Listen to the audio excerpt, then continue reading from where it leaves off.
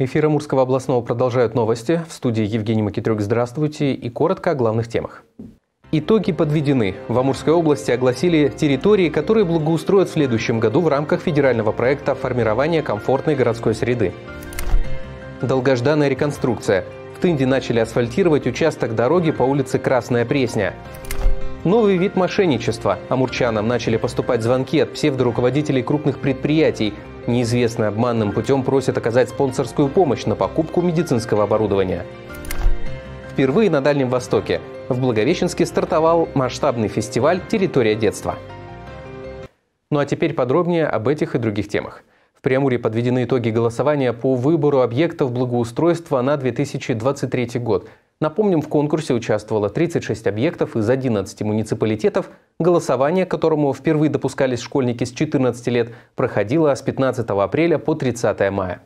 Наибольшее количество голосов, более 8 тысяч, набрал Благовещенский сквер по адресу Ленина 61. Здесь предполагается организовать зоны отдыха для разных возрастов, в том числе установить детские игровые площадки. В Циолковском Победителем стал сквер вдоль улицы Победы. Предусмотрено освещение территории, устройство тротуаров, спортивных комплексов, а также урн и скамеек.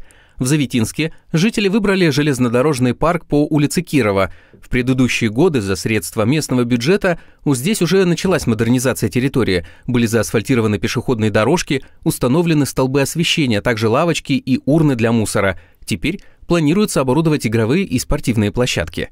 В Белогорске лидером общественного выбора стала аллея молодежи. Здесь намерены создать особое прогулочное пространство. В ЗЕИ жители проголосовали за преображение парка 40-летия Победы. Планируется устройство пешеходной зоны со скамьями и урнами, установка уличного освещения, устройство спортивных площадок и малых архитектурных форм. Укладка первого слоя асфальта стартовала на центральной улице Тынды. За выполнением работ на Красной Пресне следят специалисты строительного контроля. Об этом сообщается в телеграм-канале администрации столицы БАМа.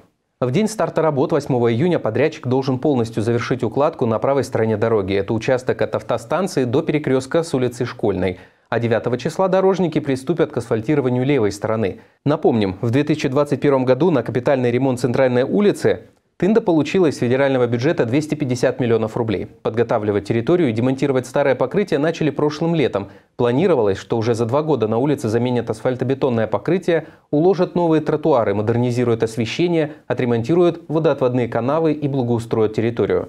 Показатели сева сои выше, чем зерновых культур. Столь необычная ситуация сложилась в амурских хозяйствах из-за поздних полевых работ, которые аграрии не смогли начать срок из-за дождей.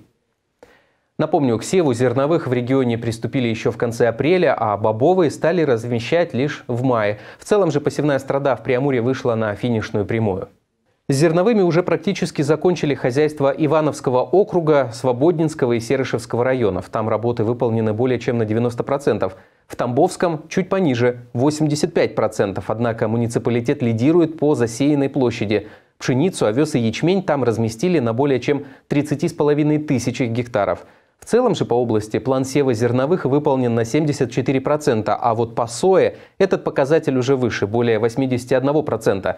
При этом ряд муниципалитетов, к примеру, Ивановский округ и Октябрьский район, уже завершают работы, а Магдагачинский и Константиновский перевыполнили плановые показатели. Впрочем, по общей площади обработанных соевых плантаций в регионе также лидирует Тамбовский район – более 100 тысяч гектаров.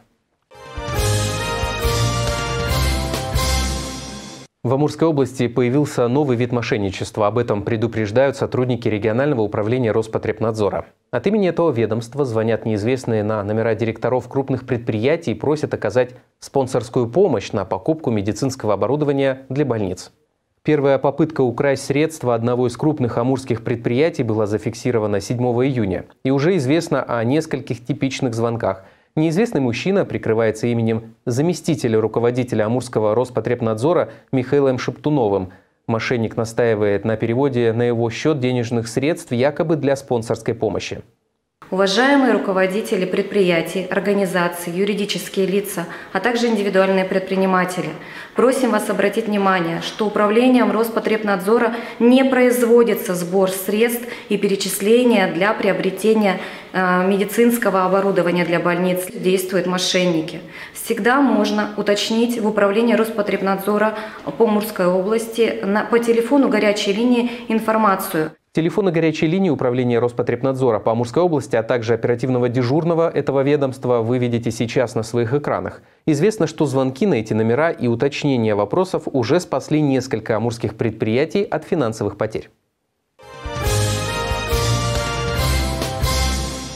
Сразу две благовещенские команды попали на пьедестал почета Всероссийского детского хоккейного турнира «Золотая шайба». Такой успех впервые зафиксирован в истории амурского хоккея. Поздравить хоккеистов Благовещенского клуба «Форвард», два возрастных состава которого оказались призерами всероссийского турнира, приехал губернатор Амурской области. Василий Орлов увлекается хоккеем и поддерживает его развитие в регионе. В соревнованиях участие приняли 200 команд. Благовещенские ребята в возрасте 8 и 9 лет стали лучшими, а 16 и 17 лет взяли бронзу. Глава области поблагодарил ребят за победное выступление, вручил их тренерам грамоты, а сами команды поощрил денежными премиями. Парни, мы очень внимательно смотрели, что происходило на турнире. У нас вообще впервые в области сразу две команды на призовых местах. Это очень круто. Вы большие молодцы. У нас э, в области сегодня строится два еще катка с искусственным льдом. Один в Тынде, один в Благовещенске. Для чего это нужно? Чтобы как можно больше людей занималось хоккеем. Хоккей – это наш народный вид спорта, очень крутой вид спорта, мужской. Мы очень вами гордимся. Более сотни юных амурчан собрались на открытии первого дальневосточного театрального фестиваля «Территория детства». Масштабное культурное мероприятие объединило все профессиональные театры Дальневосточного федерального округа, чьи спектакли покажут для детей от 5 до 15 лет. Первую постановку «Гензель Гретель. Домик ведьмы в Благовещенске» презентовали актеры из Магадана. Многие зрители остались в восторге, в том числе и наш корреспондент Евгения Хмелева. Не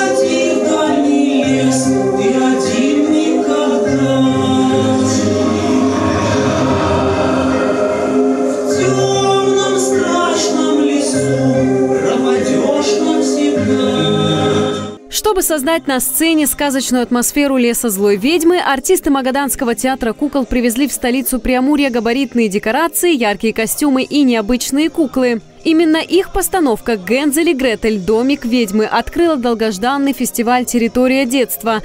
Уникальность картины в том, что куклы изготовлены в стиле маппет-шоу. Они показывают зрителю настоящие эмоции. Дмитрий Мартынов работает с куклами 10 лет. Он отмечает, управление такой конструкцией требует определенной ловкости. Одна рука остается прямой, а другая отвечает за жестикуляцию. На этот раз артист играет роль Гензеля.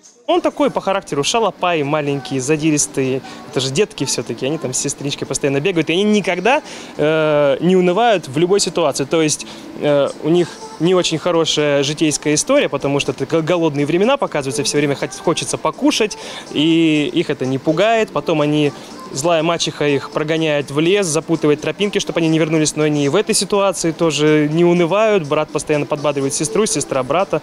Ну, такая у нас, у нас не грустная история, она у нас очень веселая, такая, чтобы деткам было весело, смешно, хохотали. В течение восьми дней на фестивале «Территория детства» покажут свои постановки 17 кукольных театров со всего Дальнего Востока. Объединить территории организаторы планировали на протяжении двух лет. Свои идеи руководства амурских театров драмы и кукол изложили в проекте, который поддержал Фонд президентских инициатив. Амурская сцена увидит 6 кукольных спектаклей и 11 картин театров драмы и тюзов. Организаторы отмечают, постановки подготовлены для детей любого возраста. Мы задумали фестиваль именно в первую очередь для детей. Для детей и о детях. Вот у него такая э, э внутри себя задача. Фестиваль для детей и о детях. Для детей и о детях пишут абсолютно взрослые люди. Играют в спектакли абсолютно взрослые люди. Но все это для детей. Среди зрителей посмотреть знаменитую картину пришли 72 воспитанника Благовещенской прогимназии. Я думаю, что ростовые куклы, такие взрослые люди, которые наряжены вот в этих костюмах, да, это такой какой-то колоссальный заряд энергии, какой-то заряд эмоций ребятишек, потому что мы это уже наблюдали, и они так э, вот энтузиастом вот это все относятся, прям у них глаза светятся, ну правда. Территория детства поддерживается президентским фондом культурных инициатив. Реализуется при поддержке Министерства по развитию Дальнего Востока и Арктики. Правительство Амурской области, администрации Благовещенска имеет более 50 партнеров и спонсоров. Фестиваль пройдет с 8 по 15 июня. Евгения Хмелева, Андрей Цветков, Амурское областное телевидение. Самый большой экспонат появился в музее истории БАМа в Тынде. Это бочка Диогена, которая представляет собой вагон цилиндрической формы. В 90-е годы его использовали в качестве жилья для людей, которые занимались возведением Байкала-Амурской магистрали. Ну а сегодня это уникальный экспозиционный зал, в котором показаны условия быта строителей и даже поэтов. Накануне объект открыл свои двери для посетителей. Тему продолжит наш корреспондент. Диоген говорил, что человеку нужно совсем мало – была у него кружка, посох и плащ. И подумал Диоген, решил, что и кружка не нужна, это тоже лишняя вещь.